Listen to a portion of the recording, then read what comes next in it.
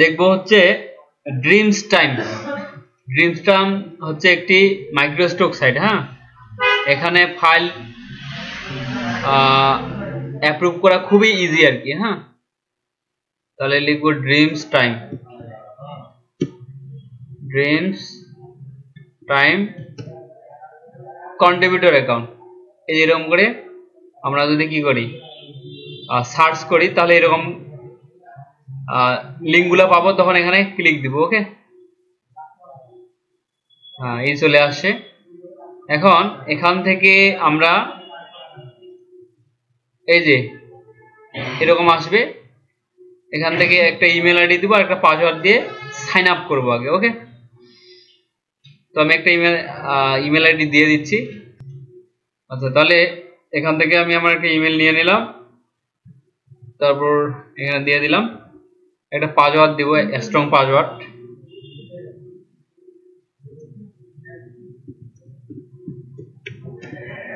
ঠিক আছে? এই যে পাসওয়ার্ডটা যদি ঠিক থাকে, তাহলে কংগ্রেচুলেশন দেখাবে। এখন, এখান থেকে সাইন আপ ফর ফ্রি এখানে ক্লিক দিব।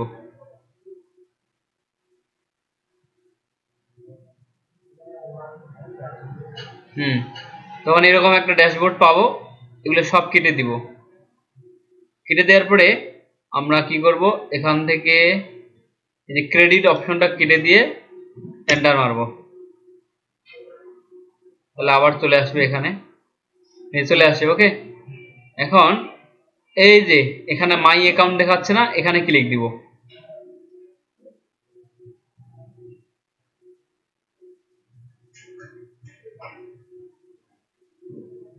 আচ্ছা ক্লিক দেওয়ার পরে এই যে এডিট ইওর প্রোফাইল এখানে ক্লিক দিব।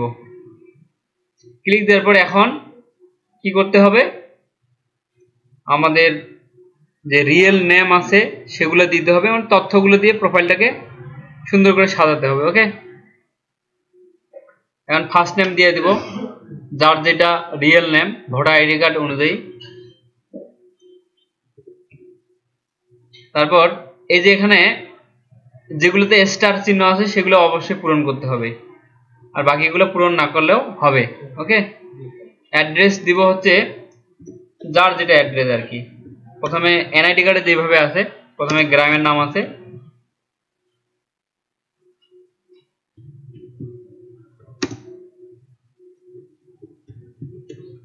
হ্যাঁ। তারপরে জিপ কোড ফোন নাম্বার দিতে হবে। তারপরে আমাদের তো কোনো কোম্পানি নাই, ঠিক আছে? আর কান্ট্রি স্টেট আমরা দিতে পারি, রংপুর দিতে পারি। রংপুর। এই যে রংপুর চলে আসছে ওকে এখন যদি ওয়েবসাইট থাকে, তাহলে ওয়েবসাইটের লিঙ্কটা এখানে দিয়ে দিব। কোম্পানি নাই ইওর ইন্ডাস্ট্রি এটাও নাই। ঠিক আছে? এগুলো না দিলেও চলবে ওকে এই যে এটা কেটে দিই, এটা এরকম আসছে। মানে ক্লিক দিলে এরকম প্রবলেম হবে, তখনটা কেটে দিতে হবে আর কি আচ্ছা আর কিছু নাই, এখানে বায়ো দিতে পারি, ঠিক আছে? একটা বায়ো লিখি। আচ্ছা আমি চ্যাট জিবিটি থেকে লিখে নিলাম, ঠিক আছে? এখান থেকে যে বায়োটা দিলাম। তারপরে এখানে ফেসবুকের লিঙ্কটা দিতে পারব।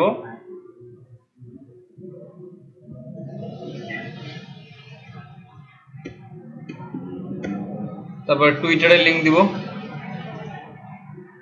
আমি ইউজার নেমগুলো শেষে লিখে দিচ্ছি, বাস। এখানে লিঙ্কইনটাও দিয়ে দিই।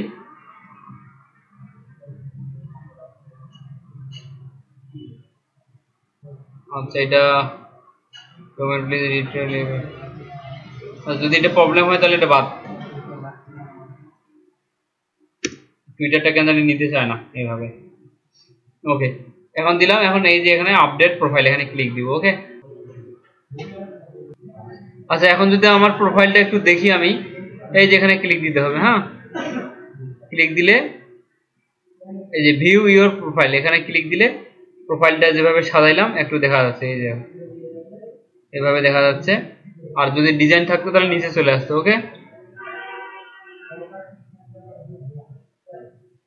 এই হচ্ছে ব্যাপার। আচ্ছা। তাহলে আমরা এখন দেখলাম কি যে কীভাবে সুন্দর করে অ্যাকাউন্টটা খোলা যায় ওকে অ্যাকাউন্টটা খুলে কীভাবে এডিট করে, সেটা কিন্তু দেখলাম। তাহলে দেখো অ্যাকাউন্ট খোলা কিন্তু কমপ্লিট এতটুকুই এনাফ তো এখন আমরা দেখব হচ্ছে কীভাবে এখানে আপলোড করতে হয়। এখানে অ্যাকাউন্ট খোলাটাও খুব ইজি এবং আপলোড দেওয়াটাও খুব ইজি এখন এখানে আমরা ইমেজ আপলোড করতে পারব, হুম, তারপর এখানে অডিও তারপর ভিডিও তারপর ইলিস্ট্রেশন হ্যাঁ এগুলো আমরা এখানে আপলোড করতে পারব। এখানে অপশন দিচ্ছি যে ইলিস্ট্রেশন তারপর ভিডিও অডিও তারপর ফটো হ্যাঁ এগুলো আপলোড করতে পারব। তো আমি একটা দেখাচ্ছি।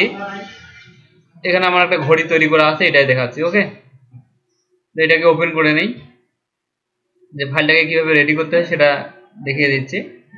এখানে আমি যদি এই যে আপলোডে ক্লিক দেই হ্যাঁ এখানে যদি আপলোডে ক্লিক দেই, তাহলে আপলোডের অপশন কিন্তু আসবে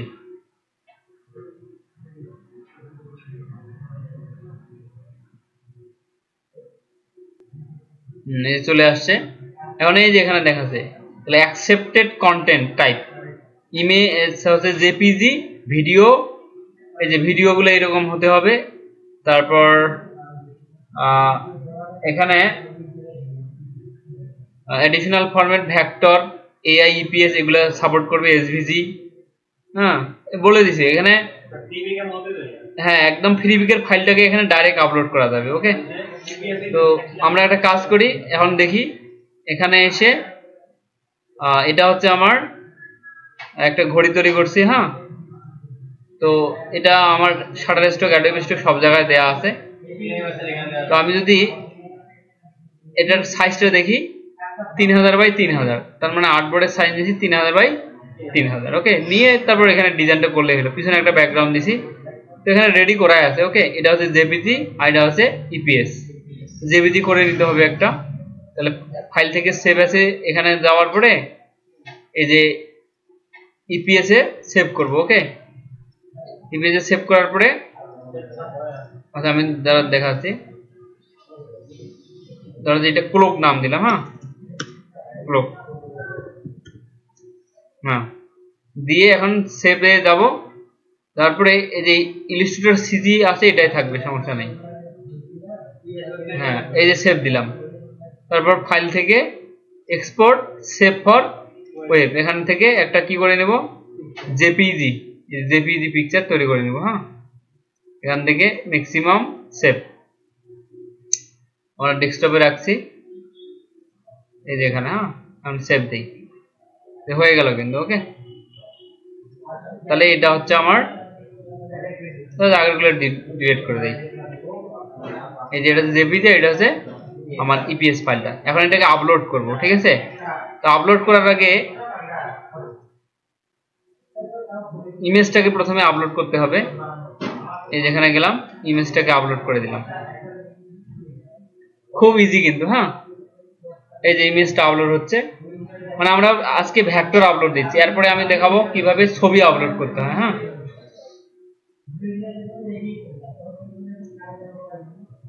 এইরকম করে একটু প্রসেসিং হচ্ছে প্রসেসিং হওয়ার পরে এটা যখন আপলোড হয়ে যাবে, এখানে ক্লিক দিতে হবে।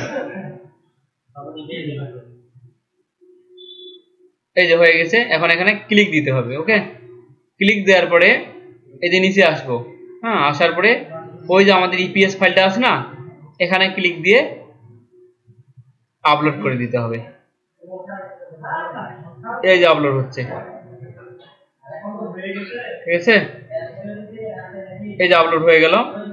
এখন এই দিক থেকে টাইটেল দিব ডেসক্রিপশন দিতে হবে। আর এটা অটোমেটিক নিয়ে নিছে, দেখো category clipart illustration three D computer generated এই যে যেগুলো দরকার আর কি, সেগুলো নিয়ে নিছে ওকে এই যে যেমন ওয়াশ নিছে হ্যাঁ লোগো কার্টুন এগুলো ক্লোক অটোমেটিক কিওয়ার্ডও কিছু নিয়ে নিছে। অটোমেটিক নিয়ে নিছে ওকে এখন আমরা সুন্দর করে একটা কি দিব? টাইটেল ওকে তাহলে টাইটেলটা আমরা বের করে নেই। তাহলে চ্যাট জিবিটি থেকে বের করা যায় বা নিজে লিখে দিলেও হবে। তাহলে আমরা চ্যাট জিবিতে আসলাম, এখান থেকে একটা টাইটেল বের করি। ডেস্কটপ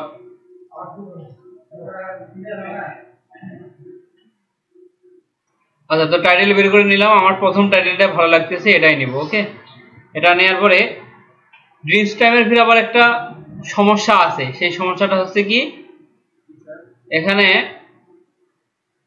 টাইটেলটা এমন ভাবে দিতে হবে যাতে সেটা ইউনিক হয়। এবং ওই টাইটেলটা সেন্টেন্স ক্যাচ হতে হবে।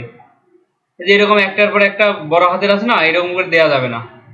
এরকম করে এই যে লোয়ার কেস করে দিলাম, প্রথমটা কি হবে? বড় হাতের। এটা হচ্ছে আমার টাইটেল এখন কিওয়ার্ডগুলো নিয়ে নেই। এই কিওয়ার্ডগুলো আছে, সব কিওয়ার্ড নিবে না ওকে যে কটা ওখানে সাপোর্ট করে, সে কটা কিন্তু নিবে। এগুলো দিলাম। এখন একটা সুন্দর ডেসক্রিপশন লাগবে কিন্তু ওকে এই যে আমি এখানে এটা তো দিছি ওকে এখন আমি এর দ্বারা একটা ডেসক্রিপশন লিখে নেই। আচ্ছা একটা ডেসক্রিপশন লিখে নিলাম। এই যে ডেসক্রিপশনটা এখন এখান থেকে কপি করব।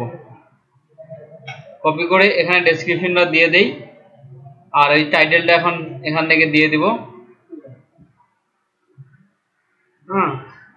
তারপরে এই যে ক্যাটাগরিগুলো অটোমেটিক নিয়ে নিছে কিন্তু ওকে আচ্ছা এখন এই যে নিচে আসি, দেখো এই যে আমার টাইটেল এবং ডেসক্রিপশনের উপর ভিত্তি করে অটোমেটিক কিন্তু কিওয়ার্ডগুলো নিয়ে নিছে ওকে তো এই কিওয়ার্ডগুলোই থাক, আর আমি এই কিওয়ার্ডগুলো দিলাম না, ঠিক আছে?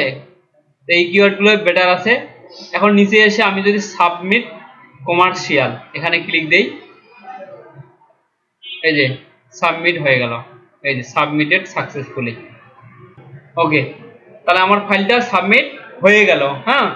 এখন এটা যদি অ্যাপ্রুভ করে, তাহলে আমরা ড্যাশবোর্ডে দেখতে পারব। আর যদি রিজেক্ট করে, তাহলে এই যে আন্ডার রিভিউ এখানে যদি যাই, তাহলে আমাদের যেগুলো ফাইল আমরা কি করছি? সাবমিট করেছি, সেগুলো দেখাচ্ছে। আর যদি রিজেক্ট করে, তাহলে এই যে রিফিউজড ফাইল এখানে দেখতে পারব। আর এখানে ফাইলগুলো খুব তাড়াতাড়ি, এক দিনে বা দুই দিনের মধ্যে কি করে? হ্যাঁ রিভিউ করে নেয়। খুব তাড়াতাড়ি আর কি। সেরকম হলে কয়েক ঘণ্টার মধ্যেই নিয়ে নেয়। সেজন্য এখানে কাজ করতে খুব মজা। আর এখানে একসাথে অনেকগুলো ফাইল আপলোড করা যায় না। একটা একটা করে আপলোড করতে হয়, একটা একটা করে টাইটেল ডেসক্রিপশন দিতে হয় ওকে তো এই হচ্ছে ব্যাপার।